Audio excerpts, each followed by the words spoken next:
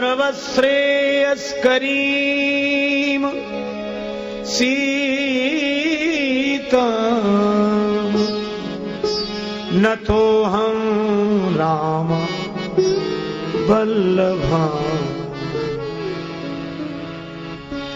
जानकी माता की वंदना कर रहे उद्भव स्थिति, अर्थात पालन, उत्पत्ति, पालन, प्रलय में जो हेतु हैं उद्भव स्थिति संहार कारणी। किसी ने कहा कि श्री सीता जी को ये उत्पत्ति पालन प्रलय से क्यों जोड़ रहे सृष्टि को उत्पन्न करना तो ब्रह्मा जी का काम है, पालन करना भगवान विष्णु का काम है, संहार करना भगवान शिव का काम है। तो इसका उत्तर यह है कि ब्रह्मा जी सृष्टि को उत्पन्न करते हैं पर सृष्टि को उत्पन्न करने की शक्ति तो चाहिए। पालन करने की शक्ति भगवान नारायण को चाहिए और सृष्टि को संहार करने की शक्ति भगवान शिव को चाहिए। तो श्री सीता जी शक्ति स्वरूपा है। यह परमात्मा की शक्ति है। अर्थात परमात्मा की शक्ति का सहारा पाकर ही ब्रह्मा सृष्टि का उत, की उत्पत्ति करते हैं, भगवान विष्णु पालन करते हैं और भगवान रुद्र संहार करते हैं। हर ही हरिता विधि विधिता शिव ही शिवता यही दही।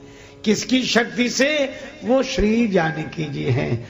उद्भव स्थिति संहार कारणी क्लेश हारणी सारे क्लेश दूर होते हैं।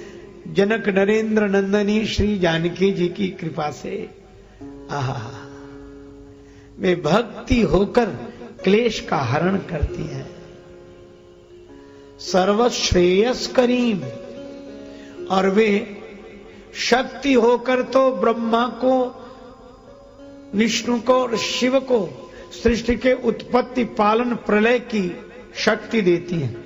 भक्ति होकर क्लेश का हरण करती हैं। लक्ष्मी रूपा होकर श्रेयस प्रदान करती हैं। सर्वश्रेयस करी समस्त श्रेय देने वाले। पर एक अद्भुत बात है इस मंत्र में। श्री तुलसीदास जी से किसी ने पूछा कि आप श्री जानकी जी को प्रणाम कर रहे हैं? हाँ। कौन सी जानकी जी को? जो उत्पत्ति पालन प्रलय कराती उन जानकी जी को। तुलसीदास जी बोले, नहीं। तो क्लेश हरण करने वाली जानकी जी को। ना। अच्छा समझ गए। श्रेय देने वाली श्री जानकी जी को नहीं। फिर किसे प्रणाम कर रहे आ ये तुलसीदास जी का भाव है। का यह तो सब प्रभाव है। पर हम प्रभाव के कारण श्री जानकी जी को प्रणाम नहीं कर रहे हैं। भाव के कारण कर रहे हैं। और भाव कौन सा है? तो बड़ा सुंदर उत्तर दिया, न तो हम राम वल्लभाम। हम तो श्री राम बल्लभा जानकी जी को प्रणाम करते हैं, क्योंकि पूजनीय प्रिय परम जहाँ ते मानी सब ही राम के नाते। न तो हम राम वल्लभाम। हम माता के रूप में वंदना करते हैं।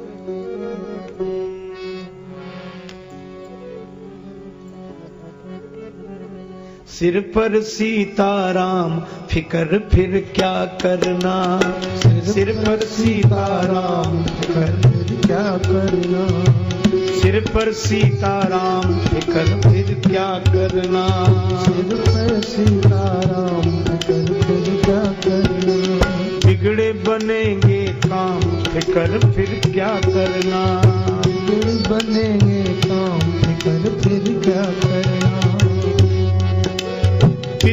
रघुवर श्री जानकी मैया पितु रघुवर।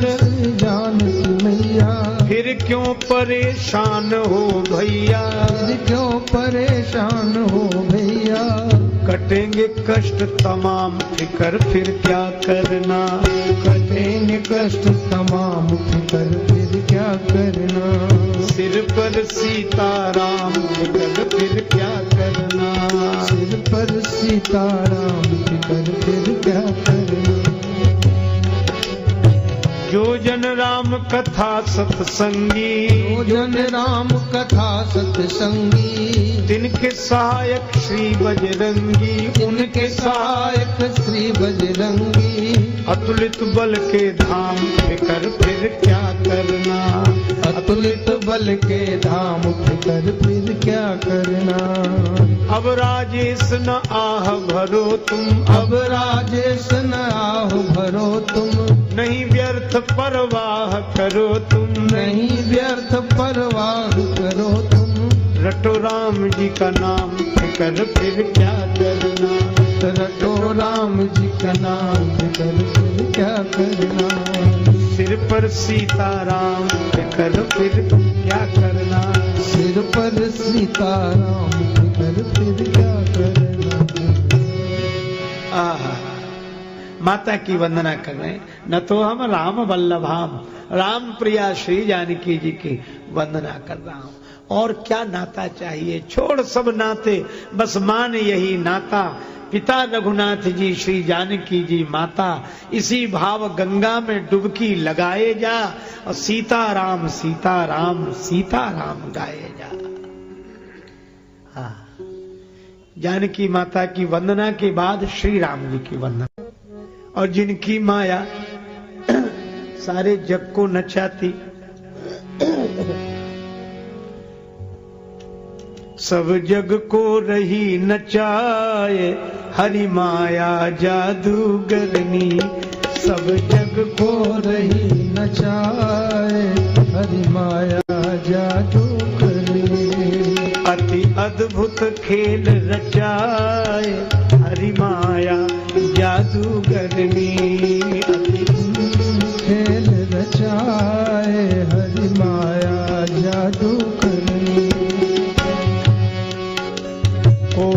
को पार न पावे यह सबको नाच नचावे कोया कोया को पार न पावे, ये सबको नाच नचावे दुख में सुख को दर्शाए हरि माया जादूगरनी दुख में सुख को दर्शाए हरि माया जादू करनी। अति अद्भुत खेल रचाए हरि माया जादूगरनी अति अद्भुत खेल रचाए हरि माया जादू करनी इसलिए भैया जो माया सब जगह नचावा जिसकी माया और उस माया की निवृत्ति उसी की कृपा से होती। देखो भैया, भगवान के पास ये दो शक्तियाँ हैं, दोनों भगवान के हैं। एक है भगवान की माया और एक है भगवान की भक्ति। भगवान के हाथ में दोनों ही हैं, भगवान की माया भी और भगवान की भक्ति भी। जब कोई भगवान के समक्ष जाता है, प्रणाम करता है, भगवान पूछते, बोलो, क्या चाहिए? बोलो, क्या चाहिए? माया चाहिए या भक्ति? तो भक्त पूछता है कि महाराज, दोनों में अंतर क्या है? भगवान बोले, देखो, एक ही अंतर है। क्या? अगर तुम्हें नाचना हो तो माया ले जाओ। और अगर तुम्हें मुझे नचाना हो तो भक्ति ले जाओ। तुम्हें नाचना हो तो माया ले जाओ। और मुझे नचाना हो तो भक्ति ले जाओ। क्यों? का जीव जिसके बस में रहे, उसका नाम माया है। और भगवान जिसके बस में रहे, उसका नाम भक्ति है। और भक्ति के राज्य में तो भगवान नृत्य करते हैं। भगवान के राज्य में सारा संसार नाचता है, पर भक्ति के राज्य में भगवान नाचते हैं। और श्रीधाम वृंदावन के निवासी रसिक जन इस सत्य से भली भांति परिचित है। श्री कृष्ण कहते हैं, वृंदावनम परित्यज्य मेकम न गच्छति। एक चरण भी श्री राम वृंदावन को छोड़कर मैं कहीं नहीं जाता। क्या करते हैं? नाचते हैं यहाँ। ताहि अहीर की छोहरिया, छछिया भरी छाछ पे नाच नचावे। किसी ने भगवान श्री कृष्ण से कहा कि आप वृंदावन के राजा होकर वृंदावन में नाचते हैं?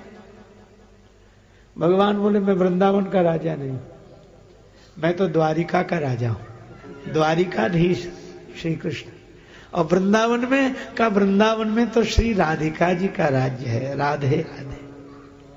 और भगवान बोले, इसीलिए हम नाचते हैं। क्यों? बोले, श्री राधिका जी तो भक्ति स्वरूपा हैं, आह्लादनी शक्ति हैं तो मानो दुनिया को भगवान श्री कृष्ण यही दिखाते हैं, क्या? कि माया के राज्य में, भगवान की माया के राज्य में सारा संसार नाचता है और भक्ति के राज्य में भगवान नाचते हैं।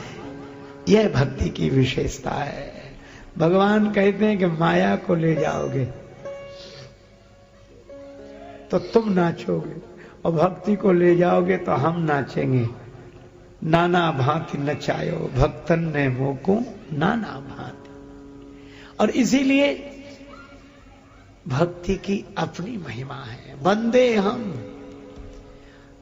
तमशेष कारण परम रामाख्यमीशम हरिम। ऐसे